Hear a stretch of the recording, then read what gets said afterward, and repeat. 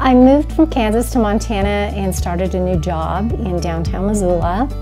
So finding uh, a home I could afford and uh, taking control of my finances were major challenges. Um, I was also discouraged that the rent in Missoula was so high compared to the Midwest. I set my sights on the Homeword properties.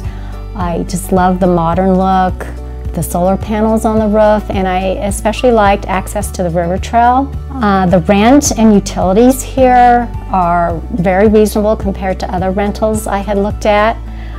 And I'm just really grateful for my comfortable home and the stability it's given me. I feel confident that I'm heading in the right direction to create a prosperous, fulfilling life. I've reached some of my financial goals and I've continued to work on others.